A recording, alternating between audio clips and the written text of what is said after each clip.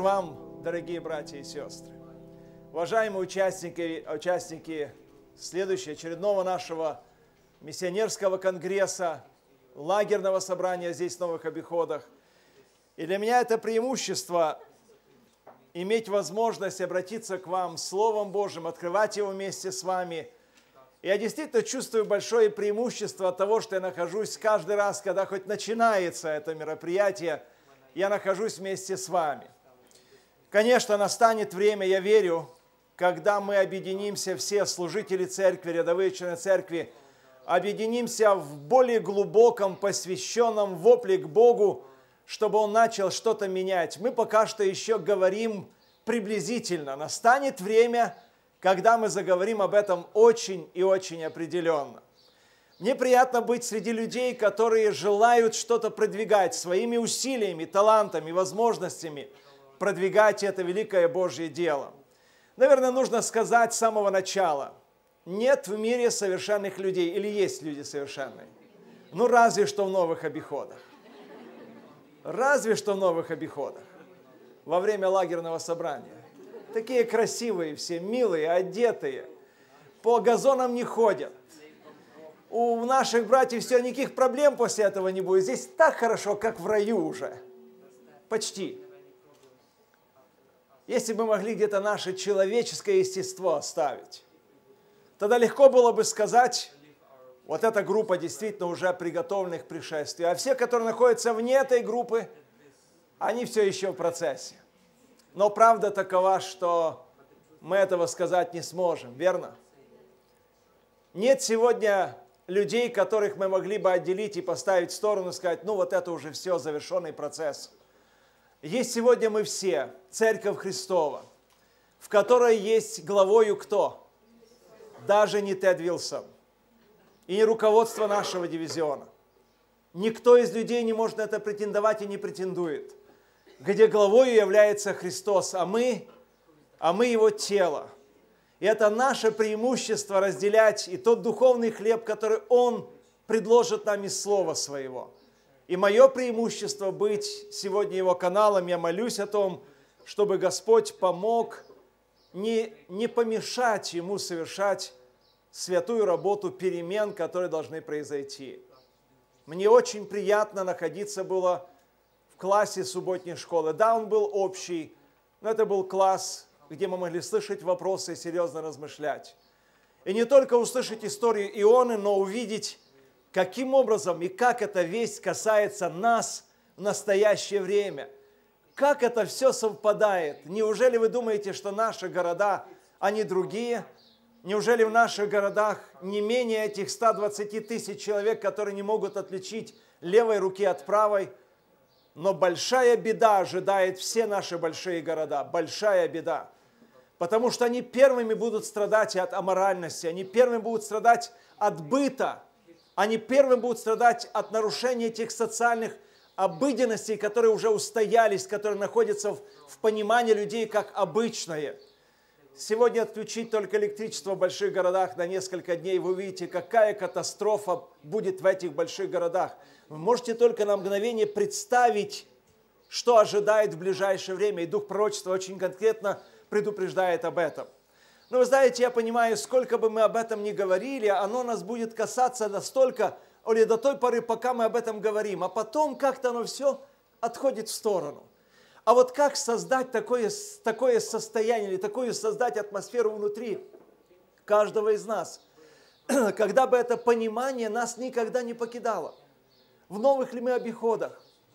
На таком хорошем мероприятии? Или же мы вынуждены будем возвратиться с нашим, в наши большие города.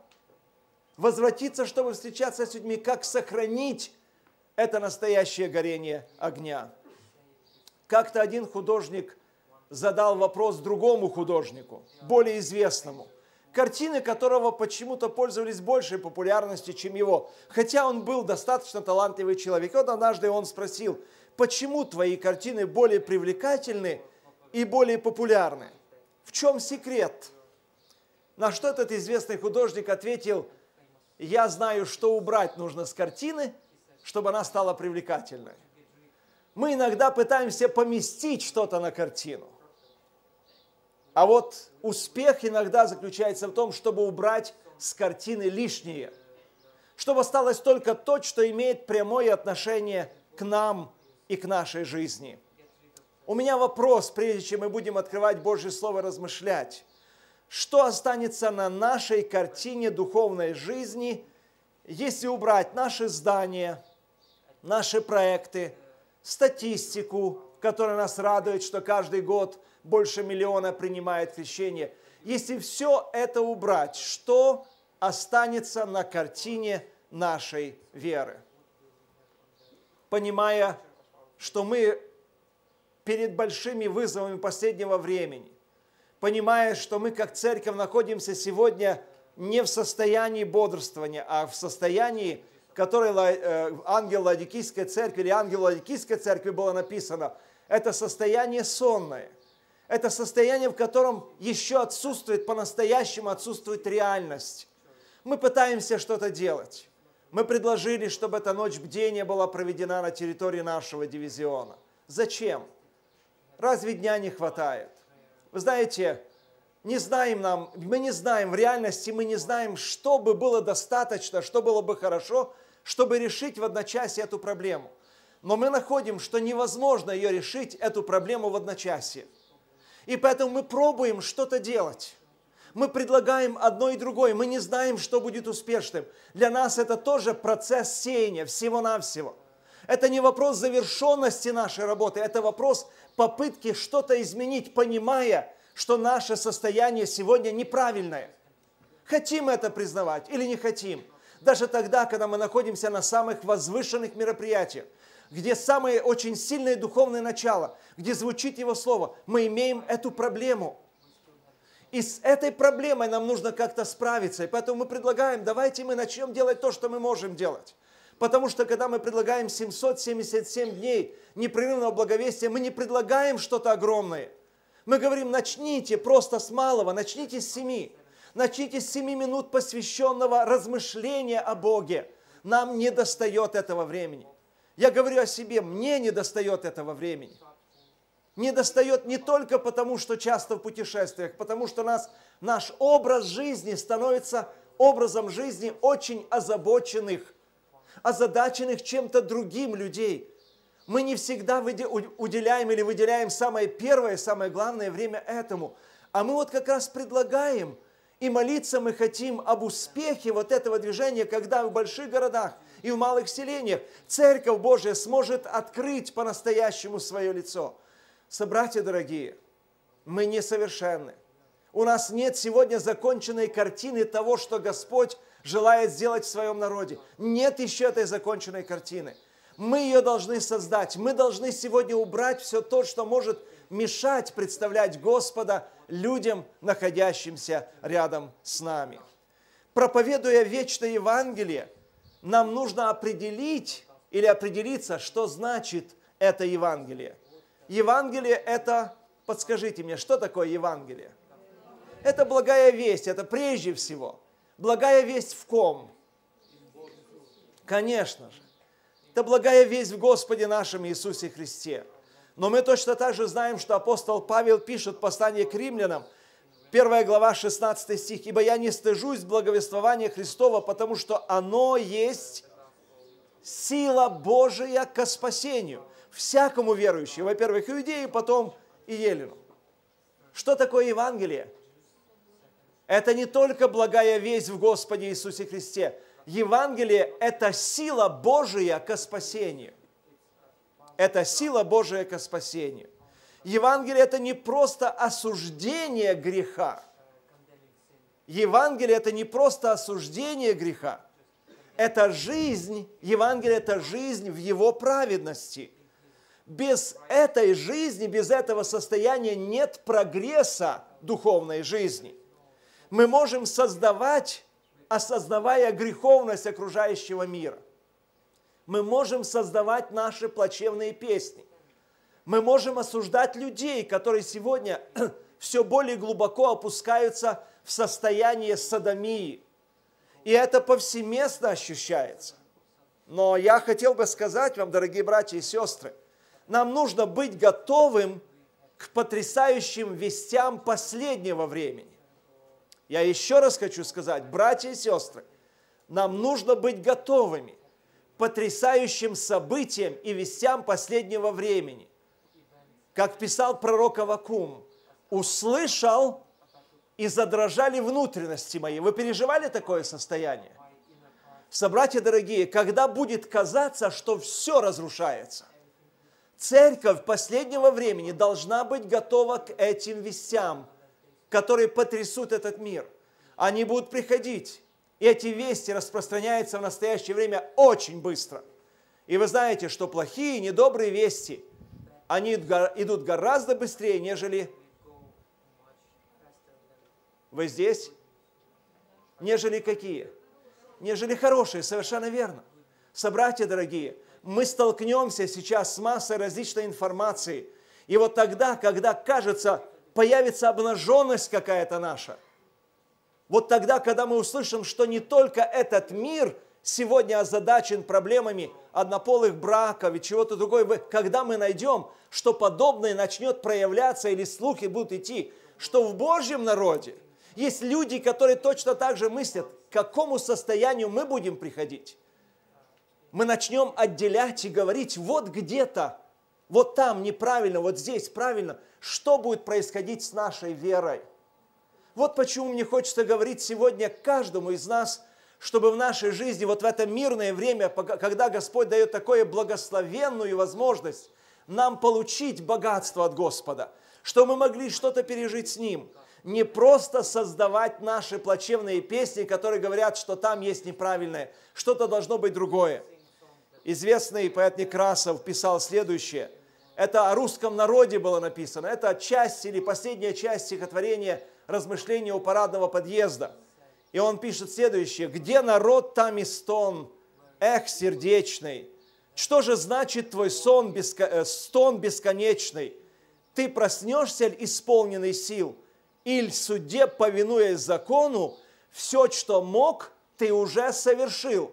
Создал песню, подобную стону, и духовно навеки почил. Я не знаю, я не знаю, как оценивать это, но в моем сердце, когда я прочитал эти строки, оно мне напомнило наше состояние. Иногда мы просто вот той констатации факта, как Иона. Он сказал, Ниневия, нечестивый город. Что должно с ним произойти? Он должен погибнуть, он должен исчезнуть. Ему жалко было растения, но не жалко было этих людей. Создал песню, подобную стону, и духовно навеки почил. В то время это имело отношение, что безразличие появилось большое. Среди людей появилось большое безразличие. Жизнь Евангелия, жизнь Евангелия. Слышали ли вы об этом? Что это значит? в послании, э, в Деяниях апостолов, в 20 главе, известный апостол язычников, он пишет следующее, 20 глава Деяний апостолов, 20, э, с 24 стиха мы, мы читаем следующее. 20 глава с 24 стиха. «Но я ни на что не взираю и не дорожу своей жизнью, только бы с радостью совершить поприще мое и служение, которое я принял от Господа Иисуса, проповедать Евангелие благодати Божией. Но я ни на что не взираю и не дорожу своей жизнью, только бы с радостью совершить поприще мое и служение, которое я принял от Господа Иисуса, проповедовать Евангелие благодати Божией. Здесь находятся люди, которые частично, может быть, уже приняли это служение, благовествовать различными методами, или люди, которые хотят, чтобы это совершилось в их жизни. Во всяком случае, я понимаю, что здесь находятся люди не безразличные к тому, что происходит вокруг.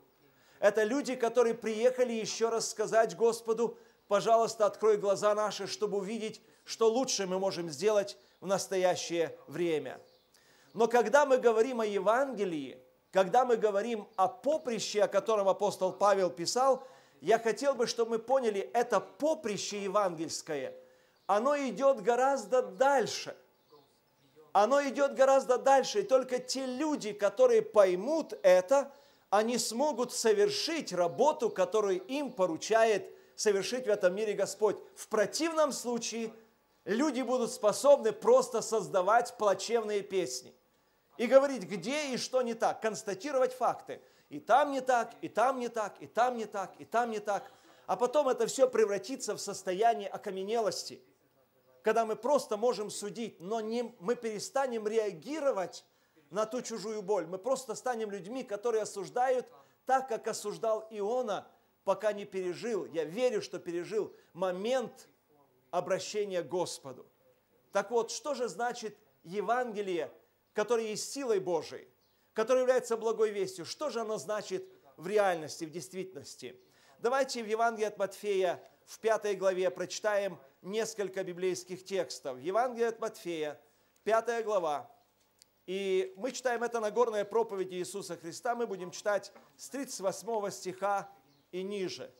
Пятая глава Евангелия от Матфея с 38 стиха и ниже. Мы находим следующие, следующие слова нашего Господа Иисуса Христа. Вы слышали, что сказано око за око и зуб за зуб. А я говорю вам, не протився злому, но кто ударит тебя в правую щеку твою, обрати к нему и другую. Понятно, да? Кто захочет судиться с тобою и взять у тебя рубашку, отдай ему и верхнюю одежду. И кто принудит тебя идти с ним одно поприще, иди с ним два. Мое размышление сегодня о Евангелии второго поприща. Вы знаете, что общая картина в этом мире такова, что 20% людей в любом сообществе совершают 80% всей работы, которая совершается в обществе. Этот принцип 80-20, он известен во всем мире. Не исключением является и церковь. Если мы только достигнем состояния 51% и 49%, великая победа будет. Но вы знаете, это не достигается тем, что мы посещаем хорошие лагерные собрания.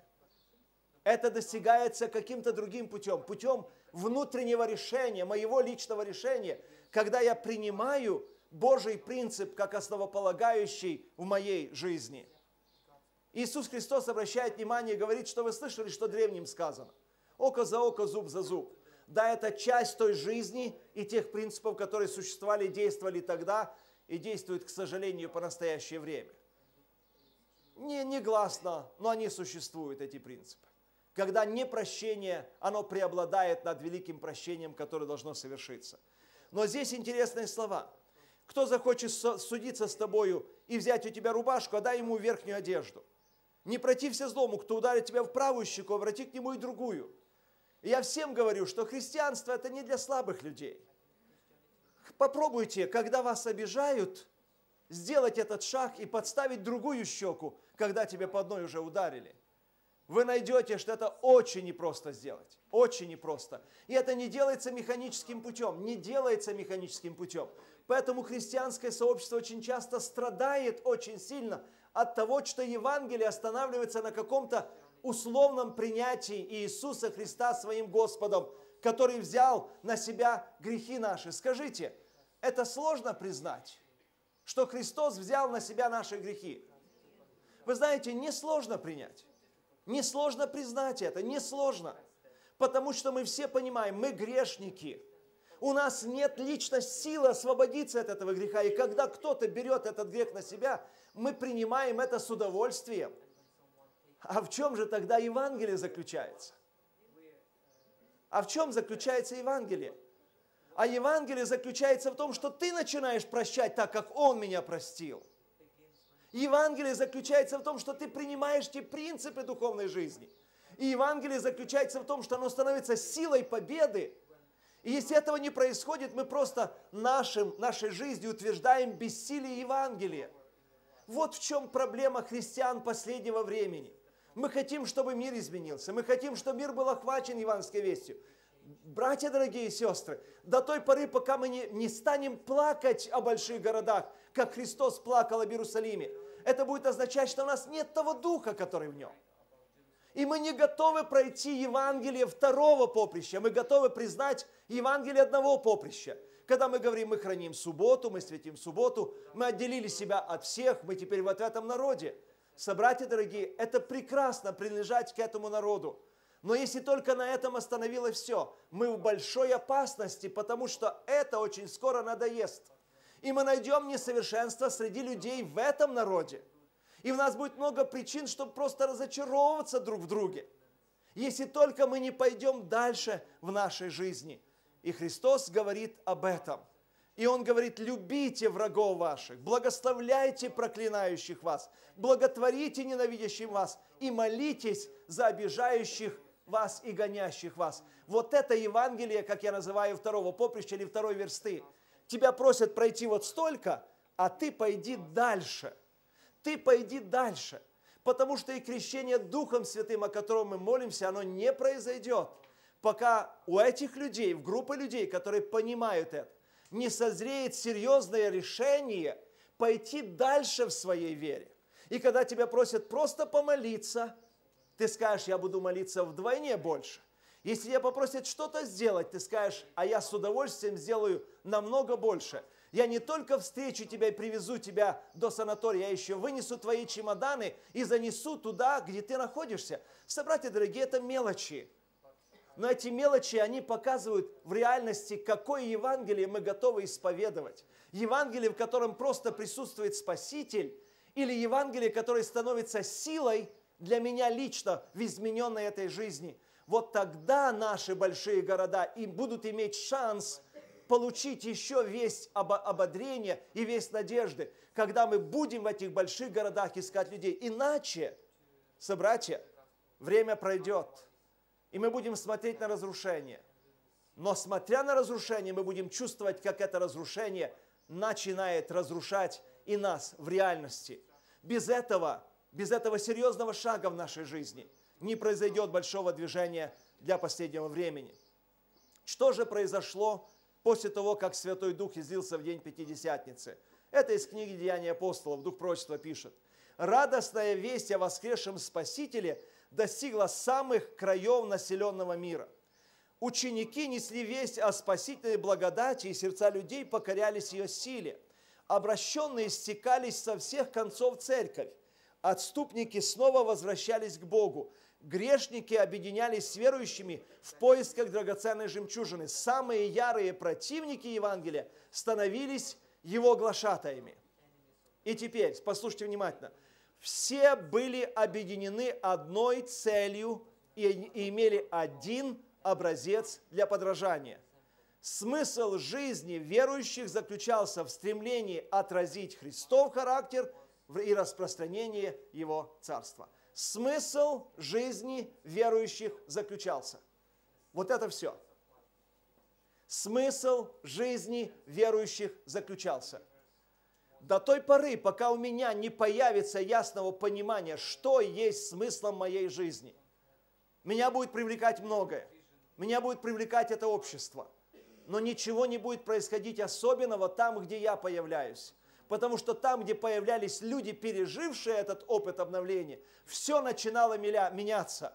Там больные исцелялись, там прокаженные очищались, там мертвые воскрешали, воскресали. Было это или не было в Первоапостольской церкви? Все это было. Скажите, а в последнее время что должно произойти? Еще с большей силой. Скажите, в каком состоянии еще с большей силой это будет происходить? Мы ожидаем случая. Мы ожидаем какого-то момента, и мы ожидаем, может быть, на этом лагерном произойдет. Я хотел бы возвратиться сюда снова, когда услышу, что к концу этого лагерного собрания здесь крещение Духом Святым произойдет такое, что пока мы доедем с Москвы сюда, Немировский район, вот это место, вся будет уже охвачена вестью проповеди Евангелия, потому что все, получившие силу, начнут благовествовать ее в той силе, которую обещал Господь. Хорошая это мечта. Хорошая мечта. Но знаете, тяжело уже мечтать от, от мероприятия к мероприятию, от события к событию. Что-то должно начаться сегодня, вот в этот день, что-то должно начаться в нашей жизни. Смысл жизни верующих заключался в стремлении отразить Христов характер. Все были объединены одной целью и имели один образец для подражания. Не к этому ли относятся слова деяний апостолов, когда они все были единодушно вместе? Евангелие второго поприща. Что это такое? Сатана всегда будет, нам нужно помнить, сатана всегда будет утверждать идею, не стоит заходить слишком далеко, достаточно то, что ты делаешь. Достаточно того, что ты приехал уже сюда. Ты же лучше сделал, чем другие. Другие не приехали. Братья и сестры, не удовлетворяйтесь этими идеями, которые будет навеивать сатана, чтобы сказать, а мы потому что это сделали, мы сегодня лучше.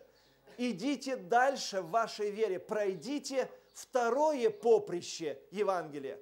Сделайте то, чего вас никто не просит уже делать, но то, что просит вас сделать Дух Святой в вашем сердце. Он всегда, сатана ожидает, всегда выжидает время, чтобы сбить темп или дать фальш-старт. Это его тактика, это его методы. И в этот час подбросьте какую-либо кость, чтобы мы могли сражаться вокруг нее. Будьте очень осторожны, не поддавайтесь тому, что сатана предлагает в последнее время. Некоторые потерпели серьезнейшее фиаско в их духовной жизни. Я вспоминаю трагичную историю вальденцев, которые так много отстояли, так красиво шли, они так много претерпели, они были уничтожаемы, но в конце концов они исчезли. Почему? Потому что тогда, когда в жизни появляется компромисс, когда мы начинаем признавать два положения правильными в нашей жизни, и тогда наступает момент соглашательства, который приведет к тому, что произошло в жизни вальденцев. Иисус сказал, Луки 9 глава 62 стих, «Никто, возложивший руку свою на плуг и озирающийся назад, неблагонадежен для Царствия Божия. Сатана всегда будет предлагать компромиссы. Он знает, что это сработает. Он всегда предлагает компромисс. Это половинчатое решение. Служи Богу, но не от полного сердца, не от полного посвящения. Просто служи Богу. Когда мы говорим о, о призыве Господа в последнему времени, церкви последнего времени, в книге Откровения во второй главе мы читаем в 14 стихе – Откровение, 2 глава и стих 14, где Иисус Христос через Иоанна дает следующее откровение, 2.14. «Но имею немного против тебя, потому что у тебя есть там держащееся учение Валаама, который научил Валаака ввести в соблазн сынов Израилевых, чтобы они ели идоложертвенное и любодействовали». Сатана понимает, что он прямым влиянием, прямым гонением, он не может искусить Божьих детей или свести Божьих детей. Что он тогда предпринимает? Он предпринимает косвенные влияния, косвенное влияние. И тогда, когда Валаам не смог проклясть Божьих детей, не смог, потому что Бог не допустил, что он научил делать? А вы, вы ничего не, не относитесь к этому миру так плохо. Выходите с ними, общайтесь, участвуйте в их хороводах. Посмотрите, какие они песни, у них хорошие песни есть, пойте их песни. Живите той жизнью, которой они живут. И что произошло дальше? Вот что произошло, что говорит Священное Писание. И в Откровении повторяется эта весть. Почему в Откровении повторяется эта весть? Есть люди, которые держатся двойных стандартов. Им нравится жить в этом мире и жить с Богом.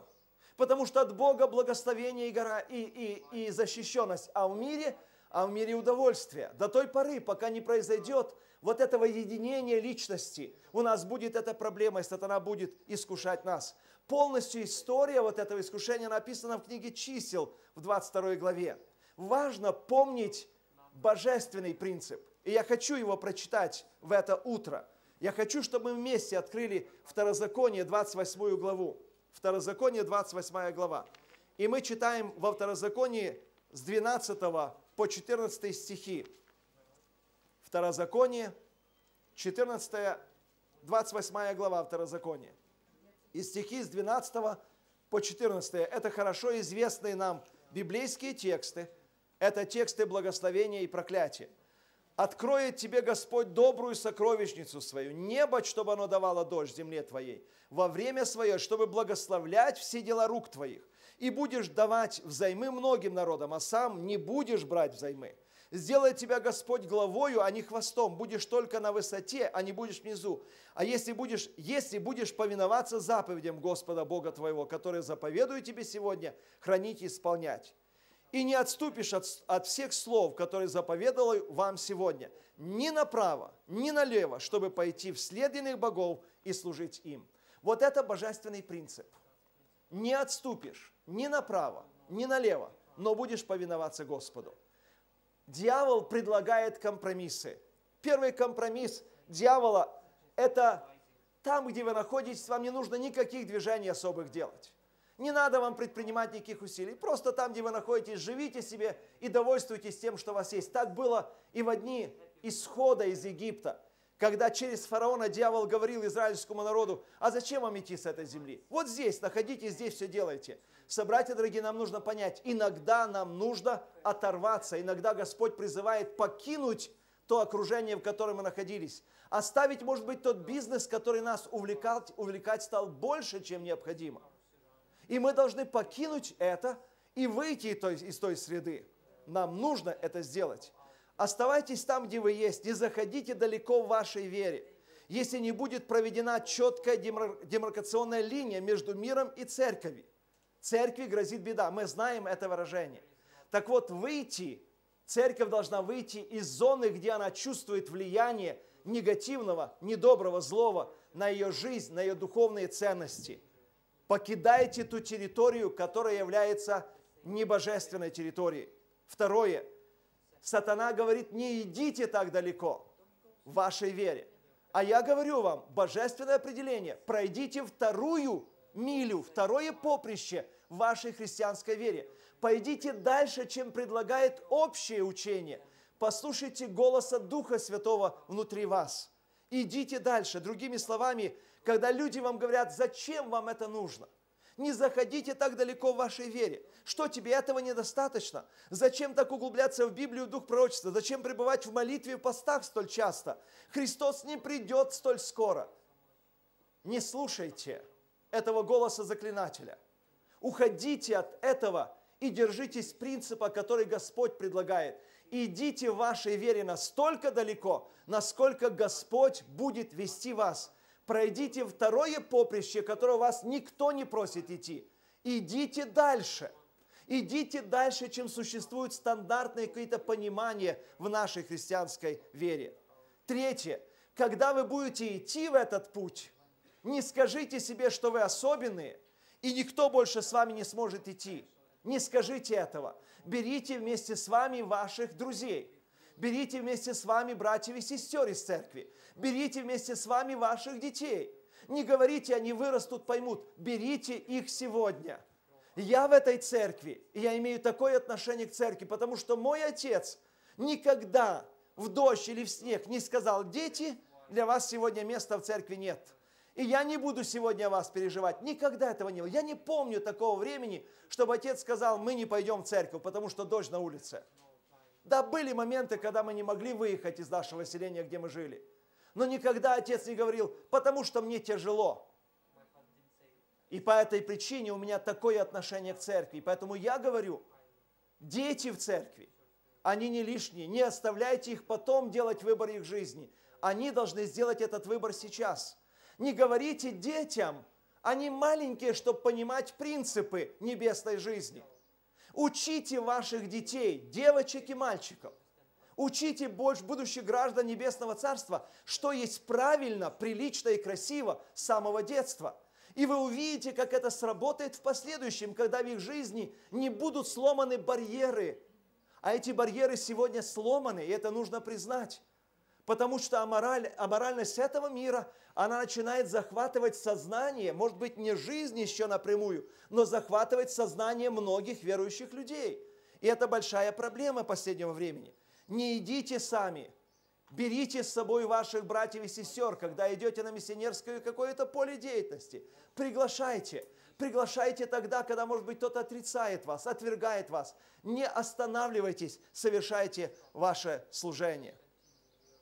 И четвертое, то, что сатана пытается разделить и вбить этот клин. Вы оставьте ваше имущество в стороне.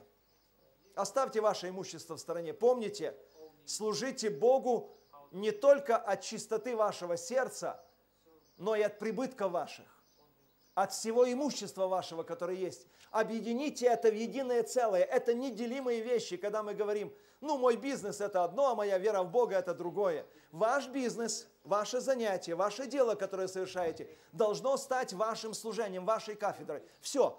Если вы пойдете дальше, чем есть стандартное э, понимание в этом мире, вы узнаете, что такое Евангелие второй версты, что такое значит Евангелие, Евангелие э, второго поприща. Когда мы идем дальше в понимании нашего Бога, не настолько, насколько другие люди понимают. И мы иногда на них ссылаемся. Мы иногда жалуемся и говорим, пастор наш не понимает этого. Руководитель наш не понимает этого. Собратья, это есть правда сегодня. Это правда сегодня, которую нужно признать, что не, мы не можем, сегодня не все, далеко не все могут понять по-настоящему Евангелие Христова. А мы иногда на это ссылаемся и этим ограничиваем Бога в нашей жизни, а Бог хочет сделать намного больше. Бог хочет сделать намного больше. Компромиссы создают половинчатую веру. Другими словами, наш личный Вавилон, наш собственный Вавилон смешения – когда мы не знаем, а где мы стоим, вот этот момент выхода из Вавилона, пережить обновление нашей жизни, мы должны пережить каждый в нашем духовном опыте. А теперь, Евангелие второго поприща, что это значит? В личной жизни. Как многие из нас удовлетворены тем, что они имеют, придя в церковь, свое привычное место, круг друзей, принадлежность к правильной церковной семье – но все, что я перечислил, не дает уверенности в спасении. Евангелие второго поприща – это идти дальше, намного дальше в моем личном опыте с Богом, чем существует общепринятое, э, общепринятое понимание в этом вопросе. Таким был апостол Павел. Послушайте, что, что он говорит в первом послании к Коринфянам, первое послание к Коринфянам, 9 глава, и стихи 16 по 19. 1 Коринфянам, 9 глава, стихи 16 по 19. «Ибо если я благовествую, то нечем мне хвалиться, потому что это необходимая обязанность моя. И горе мне, если не благовествую. Ибо если я делаю это добровольно, то буду иметь награду, а если не добровольно, то исполняю только веренное мне служение. За что же мне награда? За то, что проповедую Евангелие, благовествуя Христе безмездно – не пользуясь моей властью в благовествовании. Ибо, будучи свободен от всех, ибо, будучи свободен от всех, я всем поработил себя, дабы больше приобрести. Это Евангелие второй версты. Это Евангелие второго поприща. Он был свободен от всех, но всеми поработил себя. И это личное решение. Это никто за вас не примет такого решения. Потому что в первом случае, если мы только исполняем веренное нам служение, порученное нам служение, мы можем переживать моменты, когда начинаем слишком много нарекать, жаловаться, потому что мы сталкиваемся с непониманием. И это непонимание выбивает нас из колеи. И мы говорим, это они виноваты, они не дают нам возможности делать. Собратья дорогие, пройдите второе поприще Евангелия – пройдите дальше в вашем понимании служения. Вы увидите, как Господь начнет открывать. Когда вы, будучи свободными от всего, сами, лично, без чего-то принуждения, поработите себя вот этим служением Господу. Я слышал историю об одной женщине, нашей сестричке, которую однажды застал руководитель в офисе конференции, которая стояла на коленях, на коленках и зубной щеткой – вычищала на, на, на, не на линолеуме, а на ковролине, вычищала пятно. И когда он зашел и увидел в нерабочее время, он спросил, Стичка, а что вы делаете здесь? Она говорит, это Божье место. Это место, где присутствует Божья церковь. Здесь все должно быть идеально чисто. Я в течение уже многих дней наблюдаю, как это пятно никак не могу убрать, и у меня нет времени в рабочее время. Поэтому я осталась после работы и зубной щеточкой. Она пытается вычистить, вычистить, потому что в этом месте должно быть все как? Идеально чисто. Собратья дорогие, на чем ограничивается часто наша вера? На чем ограничивается часто наша вера? Я слышал слова не адвентистского служителя, который сказал, я прожив всю жизнь в церкви, прослужав в церкви пресвитером, потому что у них пасторского служения не только пресвитерское, я в конце моей жизни пережил такое сознание, которое вышибло меня из колеи нормальной жизни. Я начал понимать реальность. Молитвенный дом, который мы строили, красивый молитвенный дом, который мы строили, он никому не нужен, кроме группы людей, которые его строила. И я насчитал это приблизительно 10-12 человек из 1200 членов церкви. Потому что когда я прихожу в церковь, каждый раз, когда встречается община, я только и слышу, дорожки не такие, стулья не очень удобные, звук не такой, звук неправильный, все не так, все не так, ступеньки крутые, то все не так. И никто не хочет, он говорит, никто не хочет приложить хоть какое-то усилие, чтобы что-то изменить. Что мы стоим, нарекаем, что не так? Кто готов пройти это второе поприще, когда тебя не просят, а ты пришел и делаешь? Собратья дорогие, это совсем другое христианство. Совсем другое христианство. Это то поприще, которое мой Господь прошел. Это то поприще, которое мой Господь прошел. Потому что он не был никому должен, никому не был должен, а? А поработил себя. Ради чего? Ради того, чтобы я сегодня мог стоять и обращаться к моим братьям и сестрам. Чтобы жить в нем, в свободе, которую он дает. Он это сделал.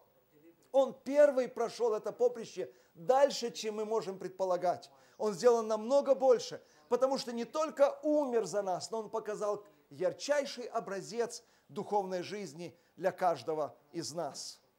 Второе. Проходите второе поприще, евангельское, второе евангельское поприще в вашей семье. Последователи Христа, послушайте внимательно, это из наглядных уроков Христа, 326 страница, были искуплены, последователи Христа были искуплены для служения. Наш Господь учит, что истинной целью, истинной целью жизни является служение – Христос сам был неутомимым тружеником и всем своим последователям дал закон служения. Служение Богу и своим ближним. Здесь Христос явил миру более высокое представление о жизни. В служении другим человек соединяется со Христом. Закон служения становится таким образом живой связью, соединяющей нас с Богом и с другими людьми. В последнее время мы чаще слышим взаимоотношения – взаимоотношения. Взаимоотношения. Что предполагают взаимоотношения в нашем человеческом понимании? Что предполагают? А? Это просто иметь нормальное общение, как-то вмещать друг друга, не ссориться, как-то понимать друг друга, находить этот общий язык понимания. Мы на это сошли. И мы пытаемся строить эти взаимоотношения вместо того, чтобы служить закон, которым на, который нам принес Господь, это закон служения. Закон служения. И тогда, когда мы говорим о нашей маленькой семье, я говорю сегодня моим братьям, мужчинам, начните служить. Не просто стройте какие-то взаимоотношения, очень часто условные. Просто начните служить. Я говорю моим сестрам, которые в большинстве, может быть, своем в церкви переживают трагедию семейной жизни – когда вторая половинка не принимает, чаще мужчины не принимают Господа Иисуса Христа своим Спасителем.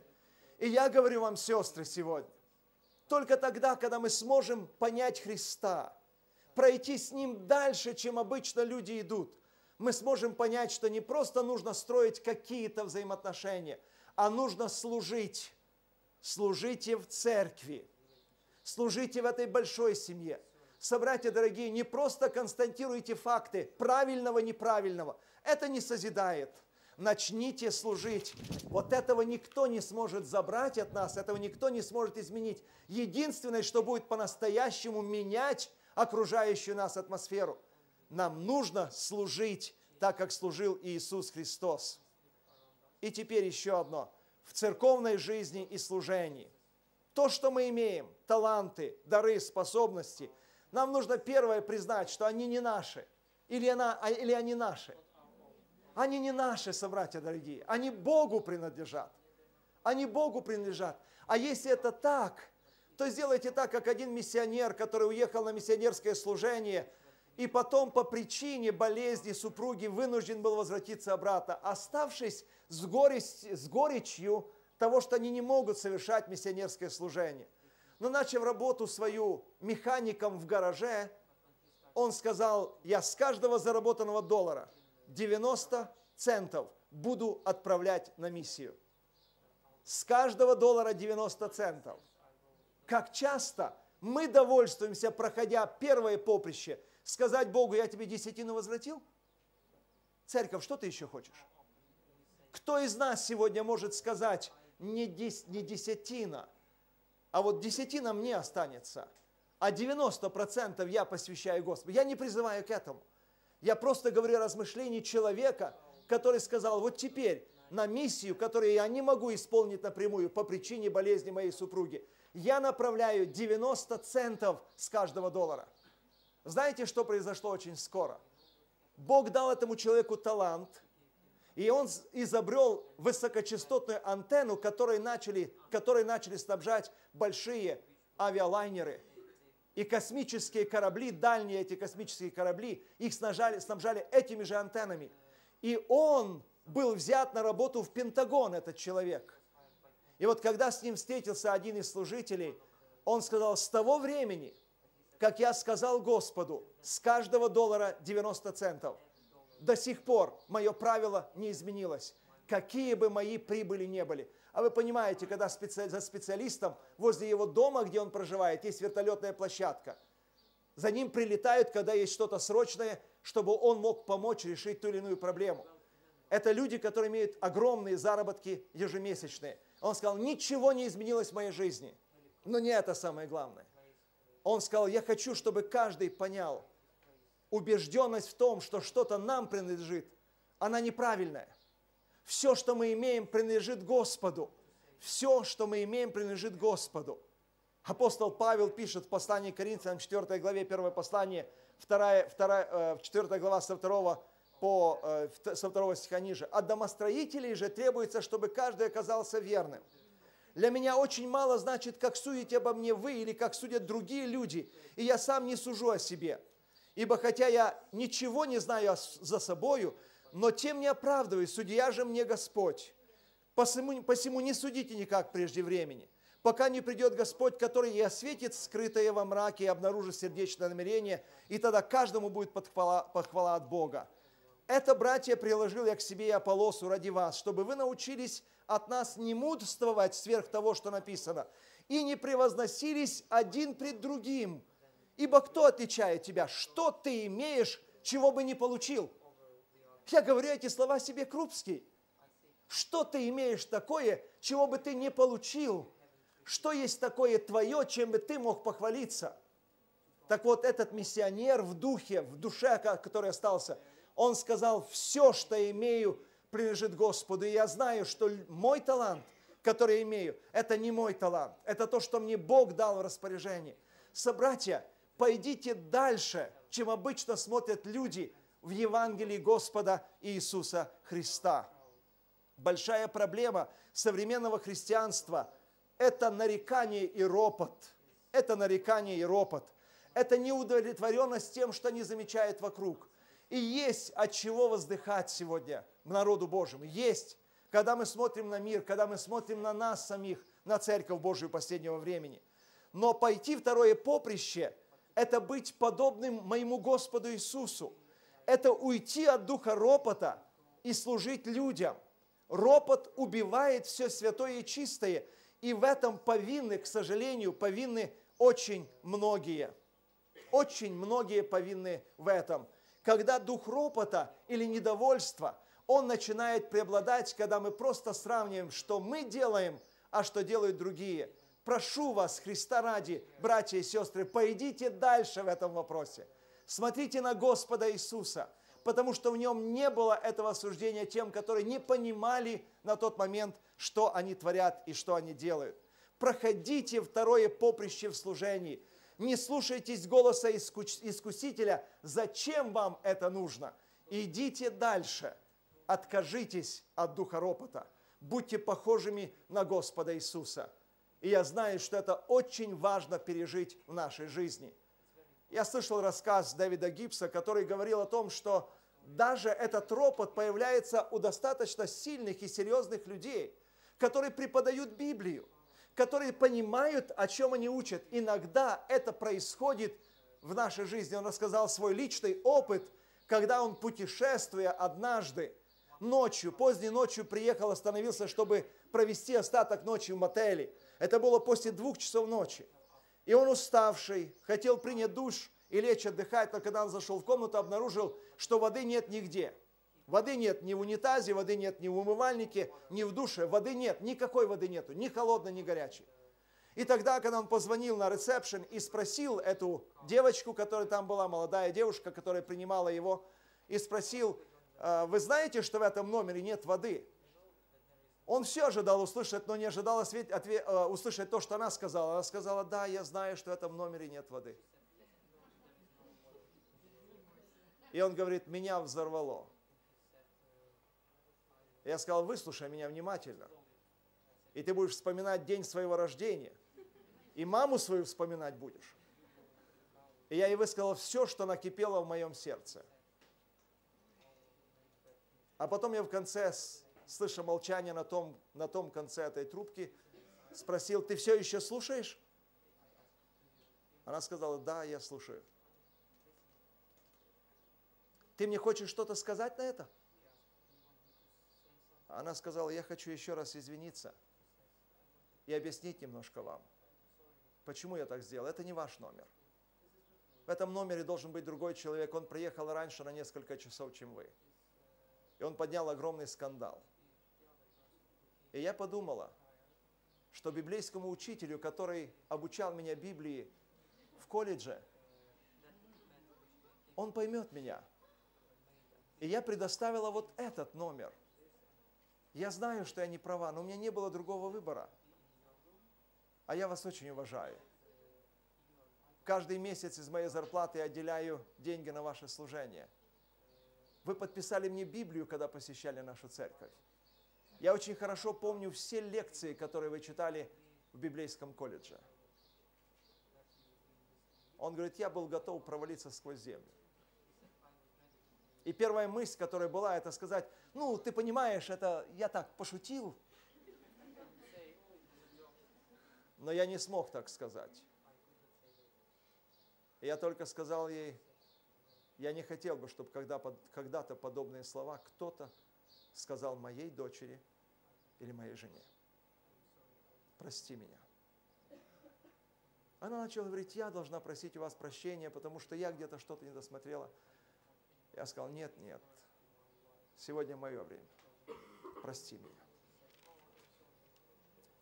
Спустя какое-то время он говорит, я посетил общину. И пастор, который встретил меня, он сказал, о, пастор, я знаю, что вы были недавно здесь. Я спросила, «А как ты знаешь? А наша член церкви, девочка, она работает в мотеле, в котором ты останавливался. И я спросил, и что она вам рассказала? А ничего, она сказала, что ты приезжал, и она очень рада, что пастор Гибс останавливался в этом мотеле. Я спросил, а что еще она тебе сказала? Он сказал, ничего. Ничего, ни слова больше. Тот удивился, сказал, нет, ничего. А он говорит, послушай, я тебе скажу, что я ей сказал. И он написал, рассказал всю историю, что произошла, и все, что он говорил ей. После этого пастор улыбнулся, сказал, она никогда ничего плохого не скажет. Никогда. Потому что она выросла сиротой. Она даже не знает имени своей мамы. Вот я моментально вспомнил, что я говорил ей о ее маме. Она не знала свое имени даже. Она была брошенной. Но она никогда не позволила слов нарекания, ропота произносить. Никогда. И пастор сказал, вы никогда от нее этого не услышите. И этот доктор Гибс говорит, как я хочу быть похожим на нее. Собратья дорогие, когда мы говорим о будущем церкви, когда мы говорим о том, что должно произойти в нашей жизни, нам нужно понять, что только люди, которые поймут по-настоящему Евангелие, Евангелие не в том, что мы принадлежим к правильному обществу, а Евангелие в том, что Христос сделал для нас и что Он нам дал силу этих больших перемен в нашей жизни, больших изменений в нашей жизни. Вот тогда, проходя это поприще земное, мы никогда не будем уподобляться миру этому и не будем уподобляться людям, которые останавливаются на половине дороги. Потому что будет следующее, даст Господь, будет следующее лагерное собрание – на которые часть людей не приедут. Часть людей не приедут. Я почему-то говорю уверенно, потому что те, которые были на лагерном собрании первом, они, может быть, сегодня даже не в церкви уже. И мы снова можем нарекать и говорить, где-то церковь, какая-то условная церковь что-то неправильно делает. Собратья дорогие, проблема в том, что мы лимитируем глубину евангельского влияния на нашу жизнь мы лимитируем. Это мы говорим, мне достаточно. Я почувствовал, что я спасен, почувствовал, что под ногами твердая почва. Это я говорю, мне хватит. Это я говорю, мне достаточно помолиться вот так, как я молюсь. И я не инициирую того, чтобы сказать, давайте объединимся вместе, давайте пойдем дальше. Зачем только 7 минут? Собратья дорогие, будьте первыми, которые скажете в церкви, братьям и сестрам, возьмете за руку и скажете, останься, давай помолимся в церкви сегодня. Давай останемся помолиться в церкви. Не для того, чтобы кто-то что-то, а потому что мне хочется это сделать.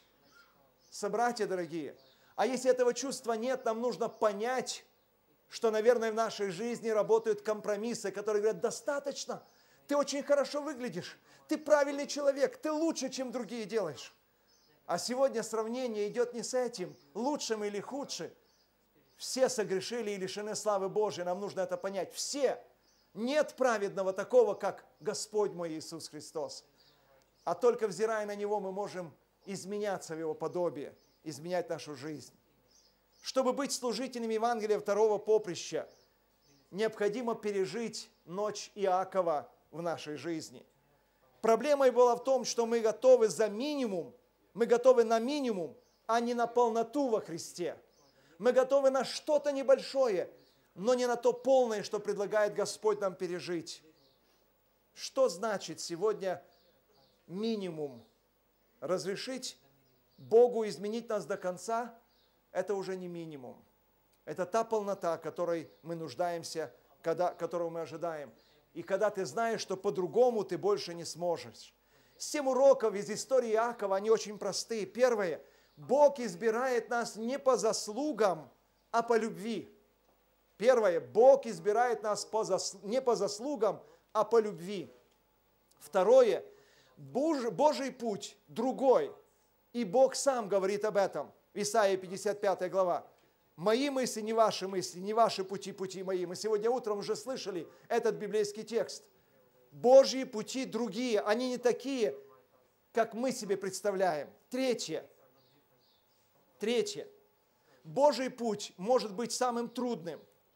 Он никогда не обещал легкого пути. Но этот путь является самым благословенным. Он на этом пути обещал нас никогда не оставить. Четвертое. В этом пути Бог посылает нам сложных людей. Внимательно слушайте. Он посылает сложных людей, чтобы испытывать нас и воспитывать нас. Не отказывайтесь от сложных людей. Не скажите, ваш пастор, он, он человек, который ничего не воспринимает, ничего не понимает. Не скажите это об руководителях. Бог иногда в нашей жизни посылает трудных людей для того, чтобы наш характер изменялся, и чтобы мы научились любить этих людей. А вот когда научимся любить и будем молиться об этих людях, вы увидите, какое движение начнется в Божьем деле. Евангелие второго поприща, идите дальше. Не остановитесь на том, что кто-то не понимает. Бог посылает в нашей жизни трудных людей, сложных людей, чтобы воспитывать наше христианство по-настоящему. Пятое. Бог лишает нас нашей силы перед тем, как наделит своей силой. Шестое. Встреча с Богом не делает нас ущербными, она изменяет наш характер в Его подобие. И последнее. Бог сохраняет свои обещания. Помните об этом, Он неизменный.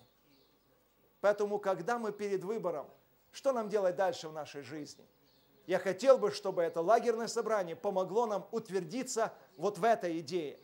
Не ограничить влияние Божье только какими-то общими представлениями. Личный глубокий опыт, который я должен пережить с моим Господом. Он должен изменить мое отношение к Нему. И это отношение к Нему начнет изменять мое отношение к другим. Когда я не смогу больше ненавидеть людей, когда я не смогу людей не любить, когда я перестану нарекать на людей, понимая, что они такие же слабые грешники, как и я сам – и у меня будет сожаление о том, что они сегодня, может, что-то еще не понимают, и желание помочь им, вместо того, чтобы отвергнуть и сказать, а вы не такие. Собратья дорогие, это наше время принять решение в жизни нашей. Потому что если мы хотим изменений в Божьей Церкви, изменения сделают эти 20% братьев и сестер. Как в любом сообществе, которые поймут Евангелие Господа Иисуса Христа – которые пойдут дальше, не ограничатся только тем, что они уже что-то поняли. Я это в первую очередь говорю не вам. Я говорю сегодня себе. И я знаю, о чем я говорю. И я хочу не ограничить Божьей благодати, Божьего действия в моей жизни только моим пониманием, что есть правильно, а что есть неправильно. Иногда мы слишком много философствуем. Иногда мы слишком много размышляем. А нужно просто начать служить и я желаю, чтобы вот эта большая группа людей, собратья дорогие, нас сегодня больше, чем тогда в Верхней Горнице в Иерусалиме собралось. Вы верите, что вы способны изменить что-то вокруг себя?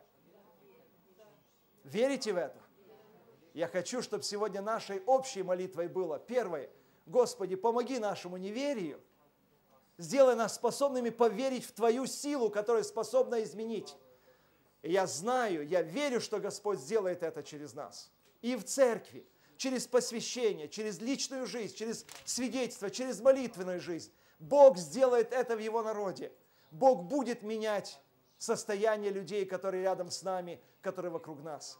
И Господь поможет нам пережить удивительные опыты, когда мы увидим тысячи спасенных людей, обращающихся к Господу. И заканчивая размышления, хочу прочитать те же слова, которые я читал в самом начале. Что же произошло после того, когда Святой Дух излился в день Пятидесятницы. Радостная весть о воскресшем Спасителе достигла самых краев населенного мира. Ученики несли весть о спасительной благодати, и сердца людей покорялись ее силе. Обращенные стекались со всех концов церковь. Отступники снова возвращались к Богу. Грешники объединялись с верующими в поисках драгоценной жемчужины. Самые ярые противники Евангелия становились его глашатаями. Все были объединены одной целью, имели один образец для подражания. Смысл жизни верующей заключался в стремлении отразить Христов характер. Может ли собрание сказать аминь? аминь. Приглашаю вас к молитве.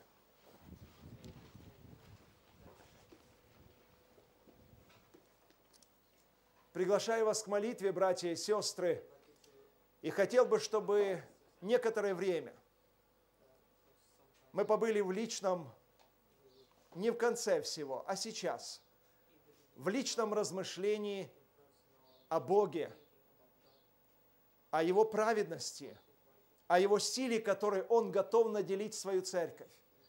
Без ограничения. Дух пророчества говорит, люди, которые поймут Бога, люди, которые поймут Его характер, люди, которые доверят Ему свою жизнь, им никто не сможет поставить никакого ограничения. Только вечность станет для них вот этим лимитом. Понимаете? Только вечность. Я хотел бы, чтобы мы помолились этой особой молитвой, прежде всего личного размышления.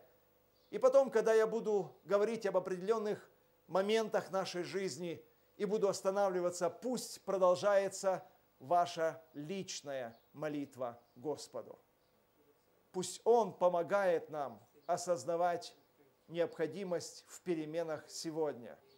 Собратья, если они не произойдут в нашей жизни, завтра мы кандидаты на то, чтобы пополнить тех, кто не верит.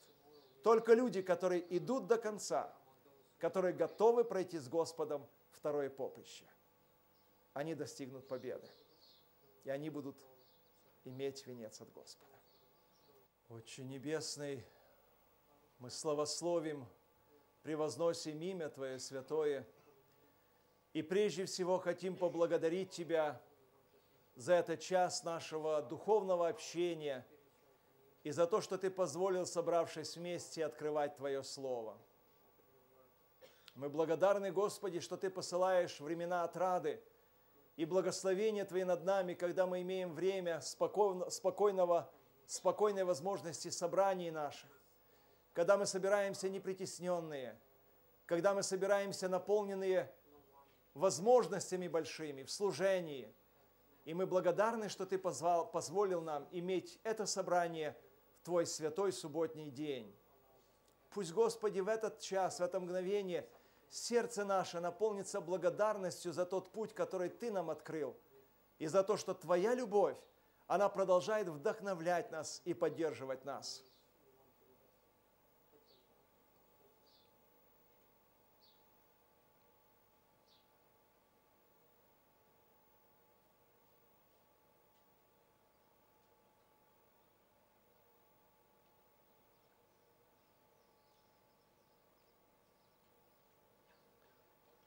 Мы осознаем, Господи, нашу полную зависимость от Тебя. Мы осознаем, что мы нуждаемся в очищении нашего сердца. Мы нуждаемся в том, чтобы произошло это обновление нашей жизни духовной в подобие Твое. И мы желаем просить, чтобы сейчас все, что мы не так сделали в нашей жизни, я молю прежде всего о руководителях Церкви Твоей. Я молю Тебя, Господи, о пасторах. Я молю о пресвитерах церкви, диаконах, служителях церкви Твоей. И я молю о каждом моем брате и сестре, которые здесь собраны, которые в нашей церкви в дивизионе находятся во всем мире. Господи, прости нас за то, что мы не всегда посвящали достаточно времени, чтобы понимать Тебя. Прости нас, Господи, за то, что наша жизнь часто была ограниченной. Прости нас, Господи, что мы лимитировали Твое Евангелие только лишь тем общим пониманием – и мы не, не, не шли дальше, чтобы Евангелие овладело нами полностью, чтобы не осталось там места эгоизму, чтобы не осталось места себелюбию, чтобы, Господи, было это полное посвящение Тебе. Прости нас, что мы не всегда проходили этим путем. Прости нас, Господи, что мы упускали возможности свидетельствовать о Тебе. Когда мы ожидали чего-то, может быть, лучшего, большего – и мы упускали возможности сказать тем, которые сегодня живут без всякой надежды, в чем сегодня они могут иметь эту надежду. Помоги нам, Господи, получить это прощение и очищение нашего сердца, потому что мы очень в этом нуждаемся. И в этот час каждая душа, которая взывает к Тебе, которая просит Тебя об этом, помоги, Господи, им пережить это обновление в Тебе.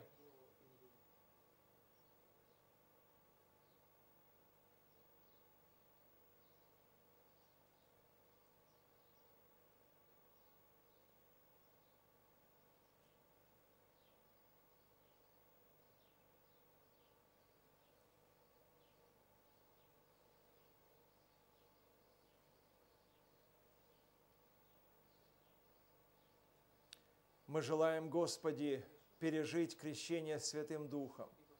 Мы хотим пережить наполнение Святым Духом. И только то сердце чистое, которое будет таковым посредством исповедания, оно сможет получить это обновление, наполнение. Господи, и мы просим, чтобы наши сердца оказались пригодными принять эту силу от Тебя, потому что в Тебе и все, и мир, и радость, и надежда. В Тебе, Господи, наша жизнь, и мы благодарны Тебе за это, и мы просим, чтобы особое действие Твое произошло в нашей жизни. Я прошу, Господи, за каждого моего брата и сестру, кто здесь сегодня, кто приехали на это лагерное собрание. Они приехали в поиске. Сегодня, Господи, мы вечером и ночью ожидаем, что дети Твои также будут в поиске. Господи, дай, чтобы совершился этот важный момент нашей жизни, очищение нашего когда бы наше сердце было способным принять Тебя и жить в Тебе. Я умоляю, Господи, дай, чтобы эти наши молитвы и желания, и Твоя сила объединили усилия рядовых членов церкви и пасторов. Господи, мы умоляем, мы умоляем Тебя, убери непонимание, которое сегодня существует. Убери, Господи, духовную пассивность и убери это состояние безразличия, которое переживают многие, как пасторы, как администраторы церкви, так и рядовые члены церкви. Господи, убери это из народа Твоего. Дай, чтобы сердце оказалось способным принять Твою волю и Твою праведность. Помоги нам, Господи, потому что мы в нашем, в нашем бессилии погибнем. Мы не сможем пережить этого момента, когда Ты коснешься нашей жизни, изменишь нас, и последнее явление Твое в этот мир, оно будет нас нерадостным опытом. Пожалуйста, Господи, измени нас, пока есть возможность в этом. И просим Тебя особо, дай, что мы продолжили молитву о крещении Духом Святым, чтобы наше желание осталось прежним, чтобы Ты, Господи, вошел в нашу жизнь и изменил нас, и жил в нас, и чтобы мы могли пойти дальше в нашей вере. Проповедуя Евангелие, Дай сегодня уподобиться Тебе, Господу нашему, уподобиться Твоим ученикам. Дай уподобиться апостолу Павлу, который мог сказать, что не повинен в крови никого из тех, с кем он встречался. Не повинен. Господи, дай нам пойти дальше в нашем определении, когда мы будем искать пути решения нашего личного вопроса, как служить Тебе, в чем должно это проявиться. Помоги народу Твоему и благослови нас. Мы собрались, чтобы пережить эту силу Твою. И мы просим, дай нам Твое влияние и Твой божественный мир, и Твою благодать. И пусть, Господи, благословения Твои не покидают нас во время всего лагерного собрания, и особенно в этот субботний день. Пусть Твоя благодать наполнит нас во имя Иисуса Христа. Аминь.